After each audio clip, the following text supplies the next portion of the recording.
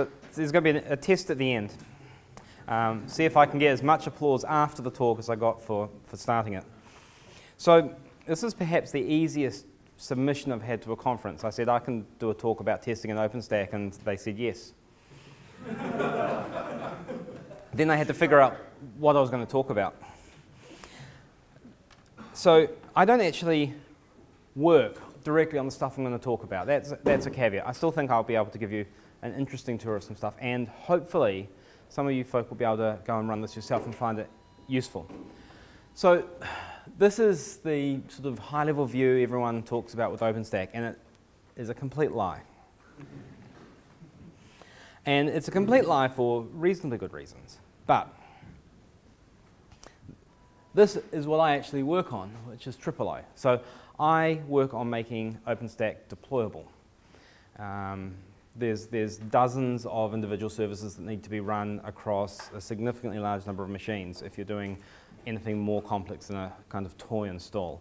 And it drives people spare. So we're trying to make that really a lot better. And we're trying to do that by deploying on top of OpenStack itself.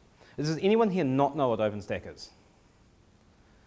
You don't count. Okay, there's enough people. So OpenStack is an implementation of a cloud. So AWS uh, or Azure are clouds you can ask via a RESTful API for a machine and you get a machine back. You can ask for a file to be stored and you can retrieve that back at a, at a URL later. Uh, it's the very minimum definition of a cloud. And OpenStack is a, a, very comprehensive open source implementation of those APIs. And it builds on top of things like Open vSwitch and KVM or Xen Server to perform the actual operations that have been done. So it's almost entirely in Python. Most of it's not performance sensitive until you run at scale, and unfortunately people run this stuff at scale. and this is what they actually end up running. Now, this is the simple version of the diagram. I'm, I am serious. This is, I think, now a year old, and um, there's been at least two more project splits since that was done, plus additional projects coming in as people want to add capabilities that weren't there in the early days. But the main reason I'm showing this is to highlight that there is, uh, from a testing perspective, there's an awfully large amount of complexity. If you think about writing a unit test for one of these things, you're almost certainly going to be dealing with a pluggable interface that can have multiple different back ends. And so you're going to have abstractions on abstractions, abstractions. Almost all of these services talk across each other. Nova talks to Glance, Glance talks to Keystone.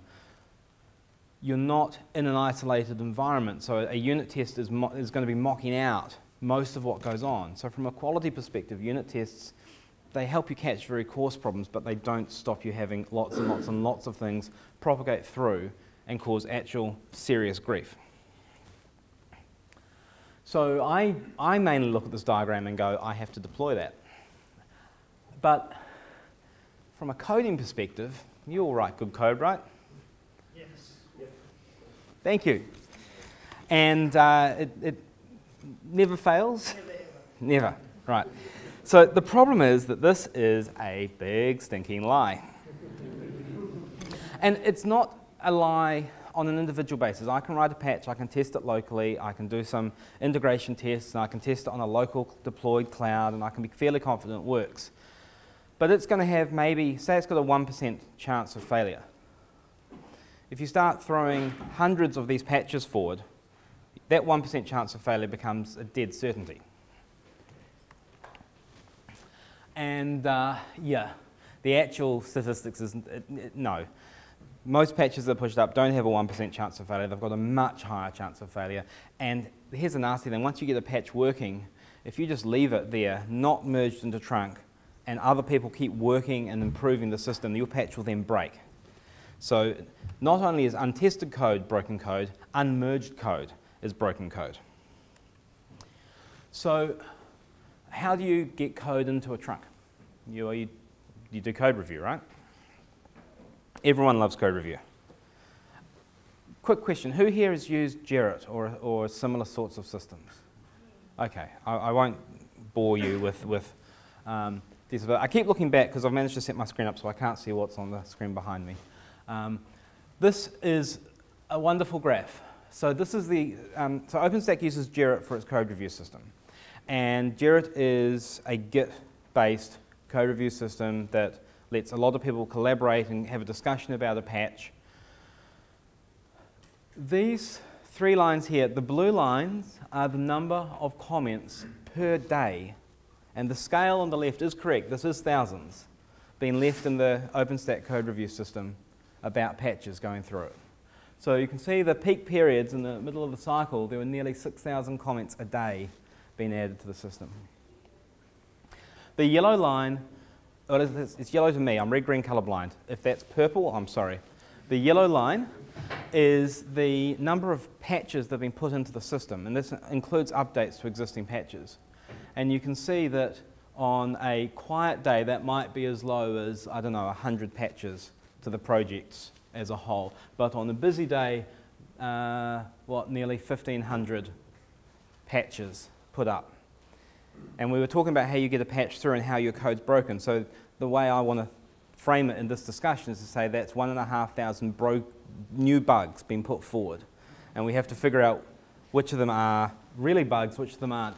The actual, I think it is a purple line down the bottom, is when changes are merged. So that's the number of things that went through all of the gates, unit testing, functional testing, reviewer agrees it's okay. In fact, two reviewers agree that it's an okay thing to do. And yeah, there is quite a big gap between the amount of things proposed and the amount of things that get through. And so when you're looking at OpenStack testing, you're looking at, at that gap. And the one thing I really want to call out here is reviewers don't scale, right? If there's a, a, recent study IBM, I think IBM put it up on their website about code review and how effective people can be and how long it takes to do code review. And you're looking at the number of defects you stop from ever entering your system where you pick them up in code review. It's actually really hard to do good code review. People become noticeably bad at it if they spend more than about half an hour doing it in a row. And it's a non-linear thing. If you have a big patch, people find less bugs per line of code in the patch, in a big patch, than if they review a small patch. And I don't know how many people have looked at how well big patches work when they land in a tree, but actually the data says that the relationship should go the other way around. In a big patch, you should be finding more bugs per line of code. So what we do is we run the full unit test suite, integration suite, and functional suite for every single patch every time it's updated. We don't run it when we put it into trunk. We run it when it gets updated. Separately, when it goes into trunk, we run it the proposed combination of trunk plus that patch across everything. But this means that if you look at the number of changes, when we go back to this graph here, the number of changes that merged, is there a number near 1,000? No. So 500 merged on that day there that doesn't represent, that represents 500 test runs of the things as they merge, plus another 1,500 test runs being done for the things that were put forward and hadn't actually gone through. Uh, so automated testing, yeah, it's a wonderful thing. I should apologize, this talk really isn't about Python. I wish it was, but it, it's about a project that uses Python. However, the talk itself is going to go off the, off the rails when we get further in. So the important things for me in, in terms of automated testing is it's re reliable and repeatable. If it's not reliable, people will switch it off. And once it's switched off, you lose all of the benefits from it. And if it's not repeatable, by repeatable I mean I can run it and you can run it. Not that I can run it twice. It's got to be shareable and consumable. I've got to be able to reproduce the environment myself. If I can't reproduce the environment, I can't duplicate the problem, and that means I can't fix it. Or I have to fix it by hands-off debugging, which is really not fun. And we've got a scale problem here, because um, I think I've got it on the next slide. Yes! Um, this is a thing called Zuul. Well, this is a status page for a thing called Zuul. A thing called Zuul is actually a whole bunch of Python code, which is nowhere near as pretty as this. What you see here is a single change set proposed to heat. So the, the number beside the name is the change set, and the comma 4 means it's the fourth iteration of that change set, the fourth time they've tried to get it to work. Um, the, this queue here, the middle one is the gate, which when things go through that, they actually go into trunk. They become part of the project. The, the check queue on the left is where they're checked before reviewers look at them. Reviewers won't look at things that haven't been checked because they'll assume that they're going to be broken and that any review they did would be wasted. And um, each of these rows within this box is a separate test run, not all testing the same stuff. So the first one is, does PEP8 complain about this code? The docs one is, do the docs build? But the Python 2.6 and Python 2.7 run the same test suite, but under different versions of Python. OpenStack as a project supports Python 2.6 and Python 2.7, so we want to make sure that we don't break in either environment. Fairly straightforward stuff, right? And we're starting to bring in Python 3, 2, and 3.3 test jobs as well, um, starting on the client libraries and working out. It's a fairly deep stack we've got, so it's going to take a while to, to work across it. But these ones are the really interesting things, right? Notice the progress bar. 21 minutes is how long it's expecting this thing to, to reach full. So we've got one and a half thousand of these boxes a day, and each one is going to take uh, about half an hour to run through. That's, well, I, I can't make that fit in a day, right? So we've got to be doing a whole bunch of work in parallel for this to, to work at all. And one immediate answer people may be thinking is Jenkins. Jenkins can run stuff in parallel. It can, and these are actually backed on Jenkins. Um, I should mention this DevStack thing, Tempest DevStack. Tempest is a, a test runner that runs tests against a live cloud. DevStack is a development version of OpenStack, so it's install everything on one machine. You don't want to use it again afterwards. Um, install everything on one machine and configure it so it's got a working cloud there. You can then make API requests to, and it'll run stuff in QEMU so you can actually see whether it's working. Um, part of the reason that this is quite a slow thing is that DevStack in a cloud, it, running as a VM in a cloud, has to run nested QEMU. So, sorry, it can't run nested KVM, it has to run QEMU. And that means that the actual VMs you spawn are slow. And so it takes longer than it would on real hardware. If we could get a cloud provider, and I know I work for one, I'm sorry, but if we could get a cloud provider to turn on uh, nested KVM, then we could make that quite a bit faster. Where do you run these tests? In the cloud. Which, uh, which provider? Um, they, they are run on both the OpenStack, the, they run on both the Rackspace cloud and the HP Cloud Services cloud. So those two companies pay for the testing? Those two companies contribute several different accounts, uh, separation of concerns, several different accounts for OpenStack infra to use to run tests, and they have a fairly large quota set to them. I think we run 60 odd machines concurrently, 8 gig instances. So there's a, that's a reasonable number of cores and, and reserve space. If you're running this infrastructure yourself, you probably wouldn't want that many instances running, unless you've got a problem that, that matches it, and we'll get to that later on in it.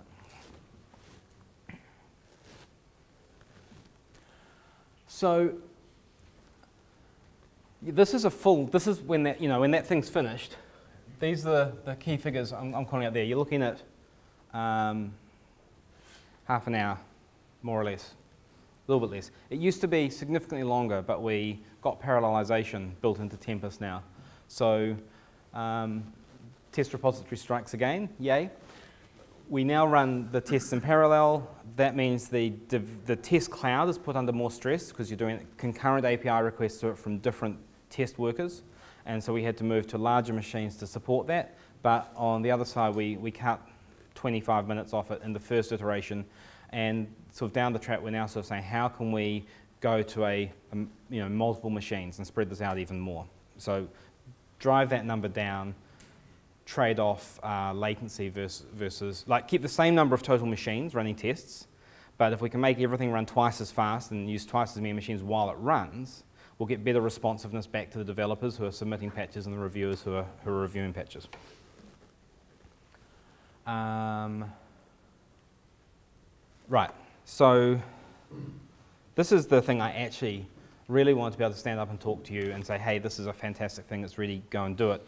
use what's been built to run that entire environment. So I was kind of putting together, you know, who would want to use this? So if you're in a small environment and you've got a unit test that takes 20 seconds to run, you probably don't need a scalable test infrastructure. But you might want reusable test infrastructure. So you may still want to go down this path. But most projects, particularly web projects, are going to have functional tests, and functional tests can get quite slow quite quickly, um, whether you're a command line tool or a website. Um, if you've got things like Selenium involved, you'll get very slow very quickly. Um, probably won't have anything quite as nasty as Tempest to deal with, but uh, you know, maybe you do. But you also need some things. Your source code, to reuse this infrastructure I've been talking about, your source code has to be in Git and you have to have access to an OpenStack cloud. Fortunately, OpenStack is an open source project, so you can deploy a cloud yourself if you don't have access to one. Or you could use a, a, um, a cloud on the web. However, the number of machines needed to do this is non-trivial, and cloud providers are out to make a profit, so they may charge you. Um, one interesting thing is that you do need um, some sort of SSO. OpenID is preferred because one of the things for me is being able to reuse this infrastructure other people are putting together and not have to think about it. To be able to just say, hey, that sounds like a great thing, turn it on, and away you go. Um, problem is, it's not that yet. So it's a moving target at the moment in two ways. One is that I've had to do a lot of copy and paste to get the, my example site up and running. So every time they change those files, I'm going to have to go and re-audit the different the delta I have and make sure it applies and carry it across. Now, I intend to be pushing on this further and going towards parameterization so that we, I can be reusing the exact same infrastructure definitions but just changing the, the host names and the security keys.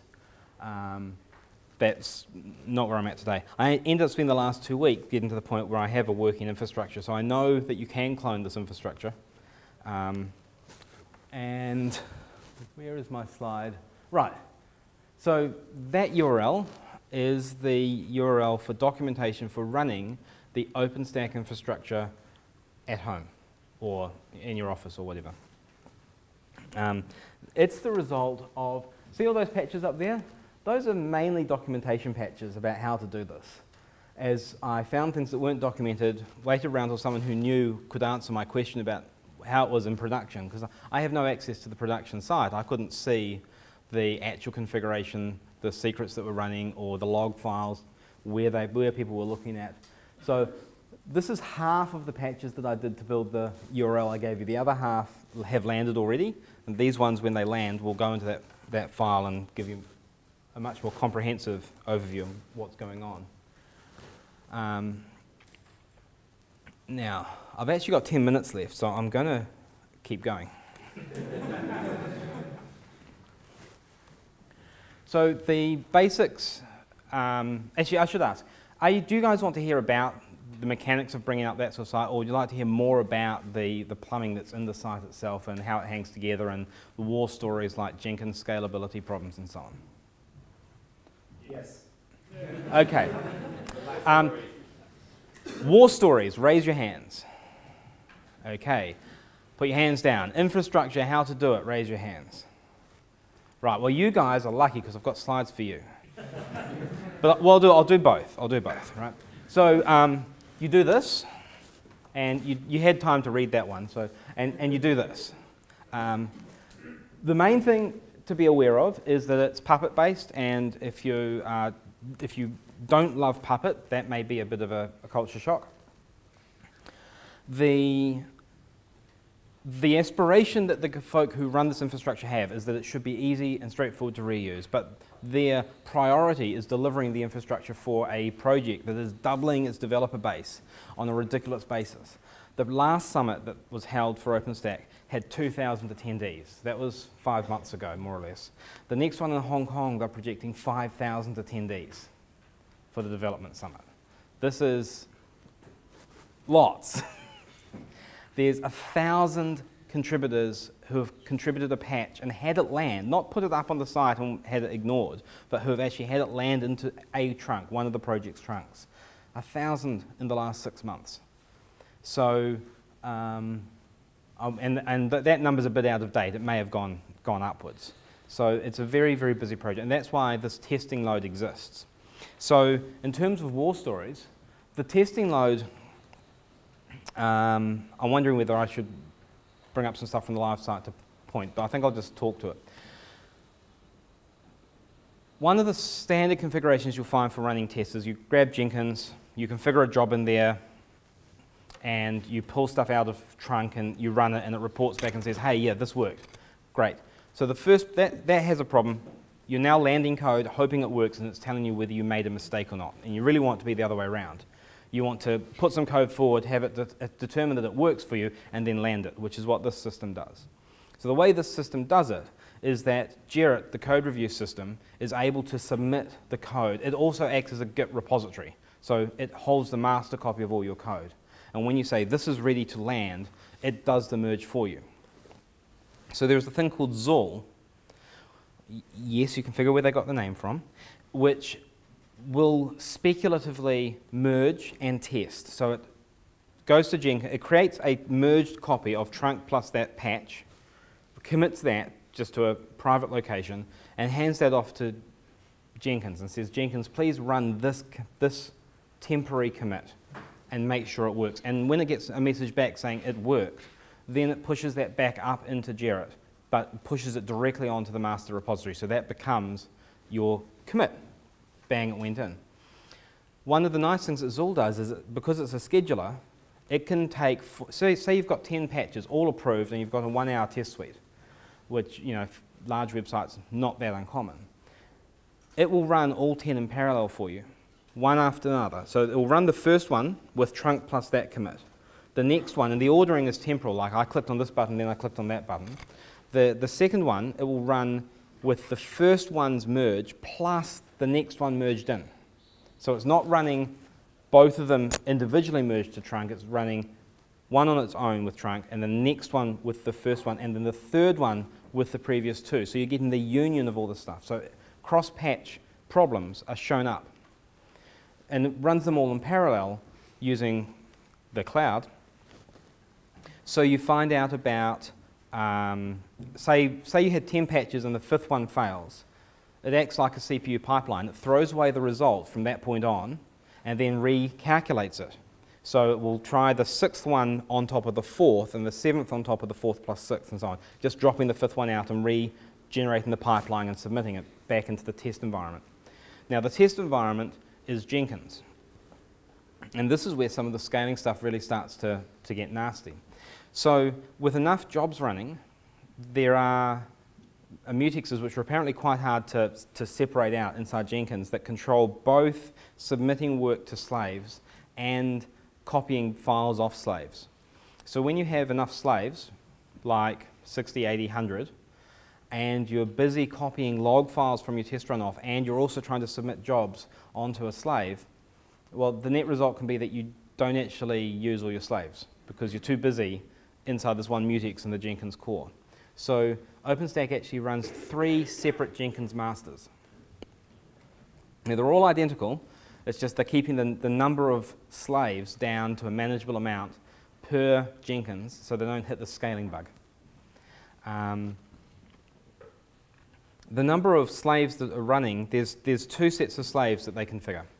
One is manually configured, they run it up by hand, they register it with one of the Jenkins, they're looking at moving away from that. The other one is a thing called Nodepool. So uh, one thing I should note, this is reasonably well engineered. So this, these projects, Zuul, Gerrit, Nodepool, are all separate projects. They can be reused independently. Um, Nodepool is a thing that will spin up a slave and configure it as a Jenkins slave and then just hold it there when you've used it, sometimes you can reuse a slave, other times you do destructive things to the test environment, and so it will spin up. It will spin them up in advance of your projected load. So if it sees you working through, you know, 100 tests an hour, and that actually means that you throw away a slave after 10 test runs, it'll, it might hold two slaves in reserve for you. Um, what else is there that I haven't mentioned? Jenkins Job Builder. Again, this is a scale thing. Jenkins Job Builder takes YAML files that describe what actions to take during a test run, both where to schedule it, how to schedule it, what shell script commands to run, to check stuff out of Git, and it combines multiple such YAML files into a Jenkins job definition.